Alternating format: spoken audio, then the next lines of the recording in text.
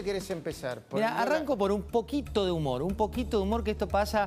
Mirá lo que tuiteaba nuestro compañero Pablo Rossi, por ahí lo viste, pero me ah. parece síntoma de, esta Argentina, ¿no? Donde ves reuniones de figuritas, donde ves a un secretario de comercio involucrado en, esas cuestiones. Y, lo leíamos esta tarde con este, este tuit que, te hago referencia y que ahí estamos viendo. Mirá, el país quebrado es un meme de mediocres en el poder, dice Pablo. Burócratas dedican horas a resolver la falta de figurita del Mundial y Alberto toca la guitarra en Nueva York. ¿Esto qué nos dice, Luis, para vos? Bueno, eh, vos me preguntas a mí, ¿me lo estás preguntando en serio? José, a ver, es, eh, parece un, el país parece un chiste. O sea, nos podemos reír un minuto y medio. Después está todo mal. La inflación está volando por los aires. El dólar soja, no sé qué. pero además, un ministro y tres o cuatro funcionarios discutiendo el tema de, ahora se le va a ocurrir, no sé, el, figurita para todo, álbum para todo.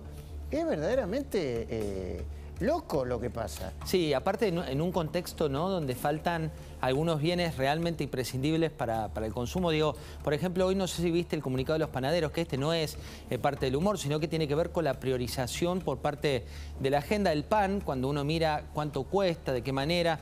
Los, los panaderos decían, Secretaría de Comercio de la Nación, no al pan, sí a las figuritas, hablando de los pedidos de reuniones que están haciendo hoy sectores claves, ¿no? Porque este es un sector eh, clave y sobre todo, cuanto menor es el poder adquisitivo, mayor la propensión a consumir harina, por ejemplo, que es lo que involucra en este caso a los, a los panaderos. Digo, es una agenda que está como mareada, ¿no? No, para mí está totalmente dislocada. Y, para, para peor, está eh, el, juicio de vialidad en donde el abogado de Cristina, Cristina lo presentó como si fuera una especie de Superman, ¿viste? Ahora van a ver, y además te lo presentaba como una mujer barbuda del circo. Pasen y vean, enseguida, Veraldi. Yo eh, estuve analizando, me habré perdido un par de horas del alegato. Lo central no. Un desastre, José, un desastre, ¿eh? mintiendo, haciendo una defensa más política que de hechos. A ver, pero mintiendo en el, en el núcleo de la cuestión de la acusación de, de Luciani. Sí, como que se desvía el tuit, aparte, hay una cuestión de tweets. Este tweet que, tweet que hizo hoy Cristina Fernández de Kirchner, mirá, Luis lo que ponía, dice, comparto con ustedes estos nueve minutos de la audiencia de, hoy, donde el doctor Beraldi, tal cual se lo adelanté ayer, demolió mentiras y fake news de Luciani y Mola, más que fiscales parecen trolls, se vuelve de cualquier lugar menos del ridículo.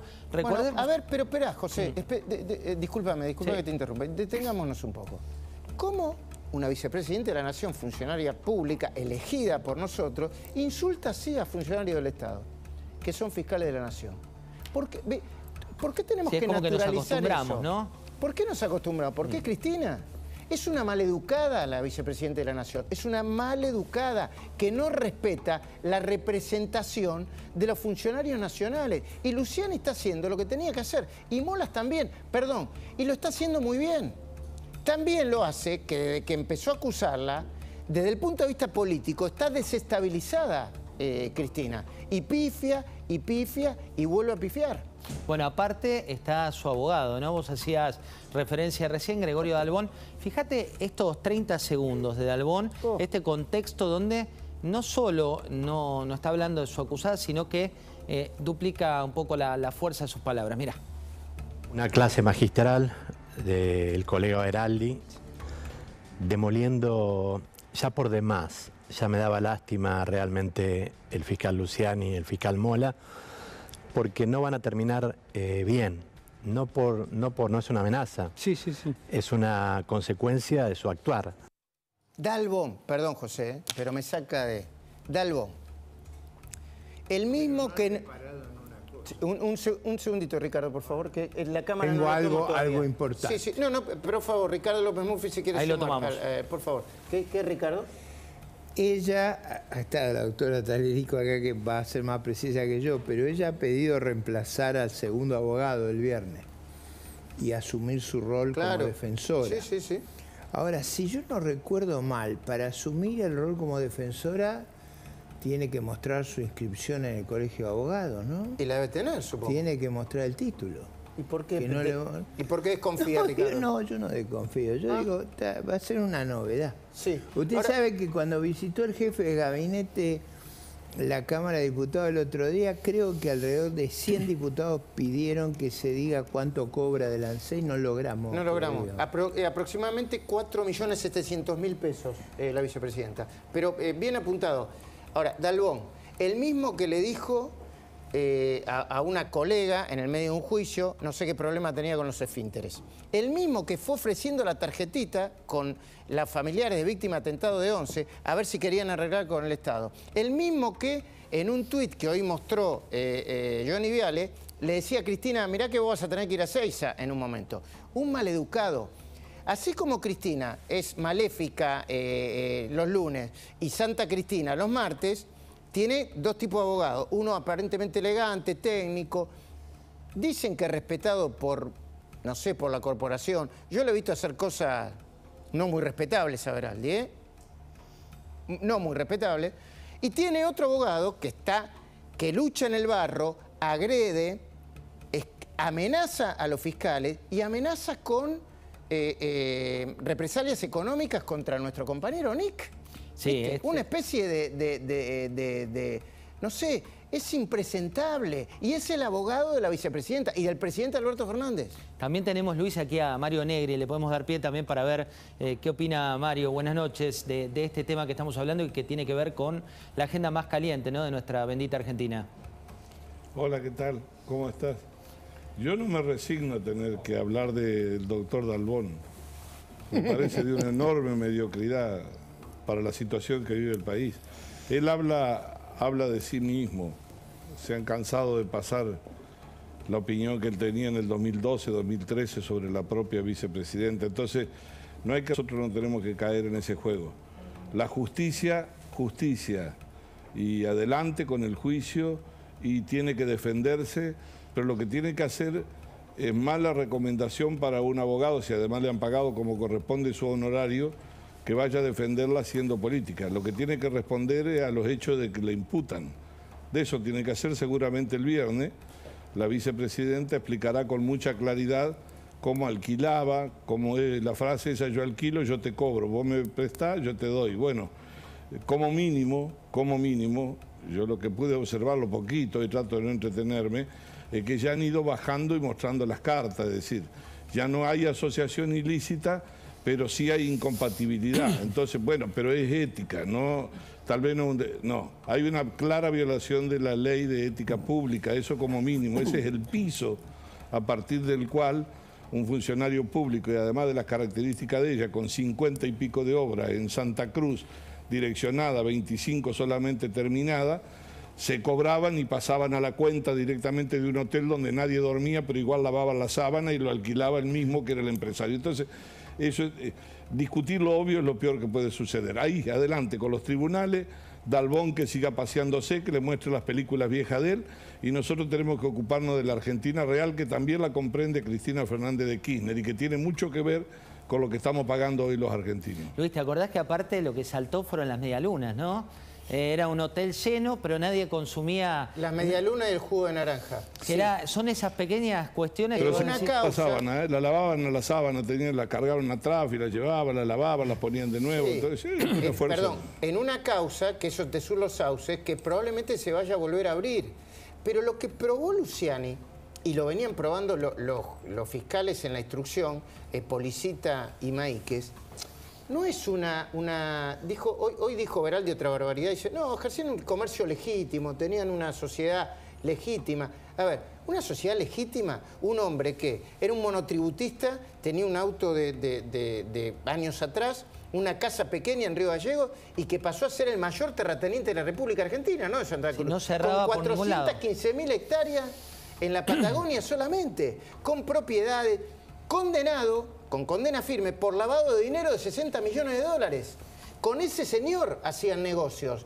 Y viene a decir que esto no es una asociación ilícita. Yo no, no soy experto en la materia, ¿viste? Hay discusión sobre la asociación ilícita. Bueno, ahí hablando, hablando, Luis, de, expertas, tenemos a María Eugenia Talerico, que, que es tal vez quien mejor conoce este tipo de... Bueno, la UIF en su momento aportó mucha prueba en esa causa y otras causas también. María Eugenia, hablando de esto que, que estamos viendo con Luis, ¿cómo ves el curso de la causa y sobre todo esto de tratar de ridiculizar a aquellos que están hoy por hoy siendo fiscales de la Nación, como es el fiscal Diego Luciani? Bueno, a ver, es un ejercicio de la defensa. Lo que estamos viendo obviamente es a una defensa muy esforzada tratando de deslegitimar la actuación de los fiscales en una acusación muy dura y muy firme. Ya se ha dicho mucho acá de lo que, de lo que se le acusa a Cristina Fernández de Kirchner, más allá de las calificaciones legales respecto de la asociación ilícita, cómo funcionó ese gobierno en materia de obras públicas, específicamente la obra pública que fue direccionada a Baez, no se alcanza, nadie alcanza alcanza a explicar esa falta de conocimiento, de voluntad y de direccionamiento final de todas estas obras públicas hacia Lázaro Báez y con un patrimonio de los Kirchner que está absolutamente confundido con el patrimonio de los Báez. Hay un esfuerzo muy grande de Veraldi este, por demostrar que esas relaciones comerciales que existían, que eran mucho más que relaciones comerciales, había permutas, mutuos, préstamos, este, mucha relación comercial entre ellos, era mínima, era como mínimo una falta ética y no era, sin embargo, esta confusión patrimonial que se explica en gran parte a partir de este direccionamiento de obra pública hacia la Cero eh, eh, eh, perdón, yo comparto lo que dice María Eugenia, pero aporto dos, dos datos descriptivos.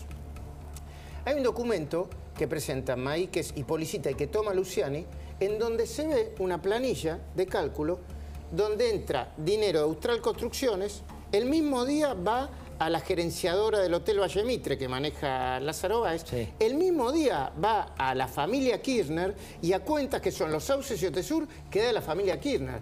Más sencillo ese guitaducto o ese, e, esa lavadora no se consigue. Eso por un lado. Y después hay una serie de chats que Veraldi... Yo no comparto la idea de que es una defensa, perdón María Eugenia, ¿eh? pero no comparto la idea de que es una defensa eh, brillante. Que a ver, Yo no dije brillante, ah. hay un gran esfuerzo de la defensa por derrumbar una acusación muy dura, muy dura. Hay un fraccionamiento de la prueba, fraccionamiento de las imágenes que se muestran de los distintos testimonios para, obviamente, apoyar el argumento de defensa. Va a haber un trabajo en la sentencia, que en definitiva son los jueces los que tienen la visión global de lo que está pasando, quienes van a determinar qué es lo que está pasando acá. Y mintiendo, y recuerdo esta prueba, un segundito solamente, María porque... Luciani mostró, hay no seis eh, mensajes. 26.000. Hay 26. no, no, hay en total hay 23 toneladas de, de mensajes que terminan en una serie de mensajes donde se prueba que Lázaro Báez, eh, José López, el gerente José López, que se llama Julio Mendoza, y Cristina se confabularon para hacer para, eh, eh, eh, ¿cómo te diría?, demoler Austral Construcciones y que interrumpieron incluso los trabajos en las rutas, José. A ver, por eso es, perdón María Eugenia, no, no es como, pero por eso es, es tan eh, tendrá que hacer un esfuerzo sobrehumano, porque de lo humano no se puede justificar eso. Luis, eh, te libero, pero antes quiero mostrarte un segundo lo que pasó con Alberto Fernández y la ONU. No sé si viste... Ah, me, das más cositas lindas para, dejarte bien para arriba. que vaya claro, para, quiero mostrarte, mostrarte esto y ya, ya te despido. Esto pasaba con Alberto Fernández, nuestro presidente de la Nación en el marco de Naciones Unidas. Mira. Los argentinos construimos el acuerdo del nunca más al terrorismo de Estado y a la violencia política. Valoramos la democracia como un modelo de desarrollo social que exige respetar al otro en la diversidad. Estoy seguro que la violencia fascista, que se disfraza de republicanismo, no conseguirá cambiar ese amplio consenso al que adhiere la inmensa mayoría de la sociedad argentina. Ya ahí vamos de nuevo, el republicanismo, la mezcla, de, la banda de los copitos que la quieren, ¿viste?